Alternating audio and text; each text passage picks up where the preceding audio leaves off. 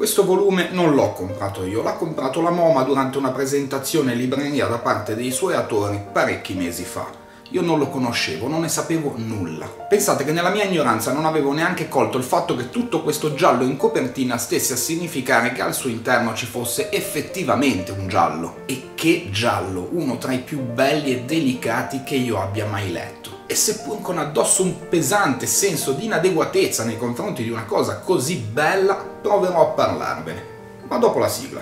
Stai cercando un manga che ti faccia sognare Consigli su una serie che vorresti guardare Se non vuoi rischiare di poterti sbagliare C'è il Vamos World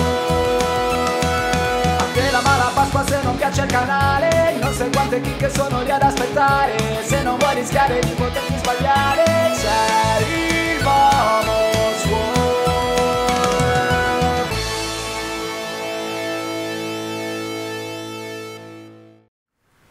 Rocca Colomba, Sicilia, 23 settembre 1963. Una donna, la cameriera di una famiglia agiata, muore. Un avvenimento che dovrebbe struggere parenti ed amici ma lasciare indifferenti i più invece scuote l'intero paese. Lo anima, tutti pensano di sapere, tutti vogliono sapere e con loro noi. Perché una cameriera muore e la famiglia da cui era a servizio si aspetta un'eredità da lei? Perché la padrona vive in casa della sua impiegata e non viceversa? Perché la defunta ha lasciato una lettera alla famiglia da cui era impiegata nella quale esige che loro facciano delle cose per lei? Perché questa donna era tanto amata o odiata da tutti in paese? Perché un importante e temuto boss mafioso presenzia al funerale di una cameriera? La defunta è Maria Rosaria Inzerillo, detta la Mennulara, morta di morte naturale nel suo letto di fianco al medico di paese che la stava vegliando nel corso delle sue ultime ore. E di perché legati a ciò che la sua morte scatenerà sono ancora moltissimi e tutti troveranno una risposta nel corso della lettura. Piano piano, pagina dopo pagina, dalle persone a lei più vicine, i commercianti di Rocca Colomba, il prete, gli impiegati delle poste, gli avventori del bar, le altre cameriere, il medico. Tutti hanno qualcosa da dire sulla Mennulara. Tutti hanno avuto a che fare con lei. Alcuni la ricordano con affetto, i più la maledicono ancora adesso che è morta. Una voce dopo l'altra si farà sempre più chiaro e limpido ai nostri occhi il dipinto della donna. Tavola dopo tavola la conosceremo, capiremo chi era, come ha vissuto e come è morta. Starà al lettore capire chi nel raccontarla piega la realtà proprio a favore, a causa di un dente avvelenato nei confronti della donna, e chi invece ce la racconta con sincerità. Ma in ogni caso non preoccupatevi, alla fine delle oltre 190 pagine che compongono questa graphic novel tutti i nodi verranno al pettine. Ogni dubbio sarà fugato. La Mennulara muore nella prima pagina di questo racconto. È la prima immagine bellissima ed impatto ad accoglierci. Eppure un personaggio meraviglioso, empatico, carismatico, forte. Per questo riesce, nonostante la sua assenza, ad essere vera protagonista di questa storia e ad entrare nei nostri cuori. Anche quando ci sembrerà di non capirla, anche quando il corso della storia ci porterà ad avere opinioni e sentimenti contrastanti nei suoi confronti.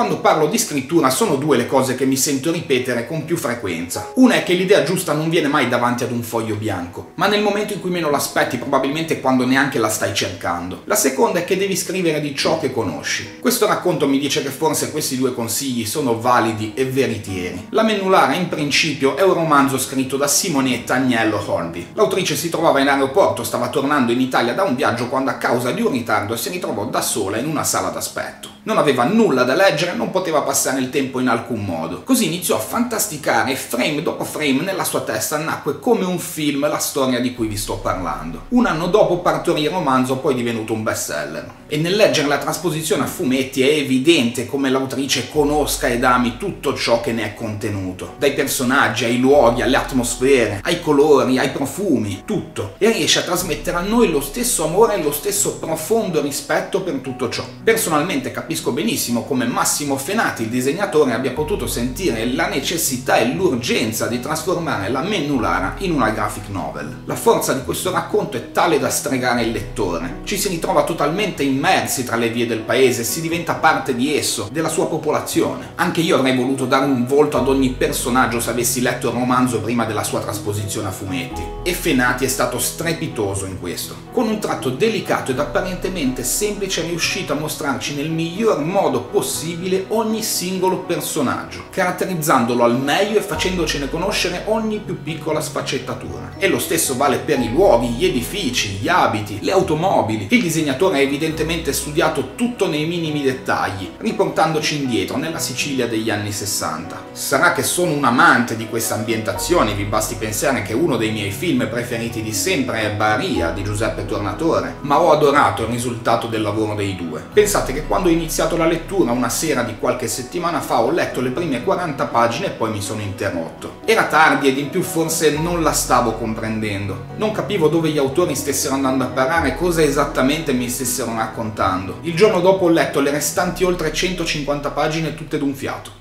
Avevo bisogno di sapere, dovevo arrivare in fondo. Anche se in realtà più mi avvicinavo alla fine, più speravo che questa non arrivasse. Avevo paura. Avendolo ormai metabolizzato, posso asserire con sicurezza che la Mennulara rientra senza alcun dubbio nella lista dei 10 fumetti più belli che io abbia mai letto. È uno di quei titoli per i quali pagherei non so quanto per poterli rileggere per la prima volta. Chi mi segue lo sa, mi è capitato una sola volta di commuovermi nel leggere un fumetto. Questo ci è quasi riuscito. E la cosa particolare è che ci ha provato con una singola vignetta verso la fine del libro, un singolo balloon, che ho riletto più volte per la sua intensità e la sua dolcezza. Certo, una vignetta figlia di tutte quelle venute prima, ma comunque unica. Non posso svelarvi quale fosse e cosa contenesse perché vi svelerei dei retroscena troppo importanti ai fini della storia e comunque preferisco non farlo. In un certo qual modo alcuni risvolti dall'aver letto questa opera si sono tramutati i miei pensieri intimi. Fortunatamente ad inizio video avevo messo le mani avanti, avevo precisato quanto io mi senta inadeguato nel parlarvi di opere così grandi e così belle, e credo di aver tenuto fede alla mia promessa. Ma avevo voglia di farlo, ne sentivo il bisogno. Se voi invece sentite il bisogno di fare un salto in un'Italia che parzialmente non c'è più, tra le strade di Rocca Colomba, a fare la conoscenza della Mennulara, uno dei più bei personaggi che io abbia mai incontrato, magari lasciandovi rapire da quel giallo che sono state la sua vita e la sua morte, io non posso che consigliarvi la lettura di questa graphic novel. Ed in cuor mio quello che vi sto dando è un consiglio d'oro.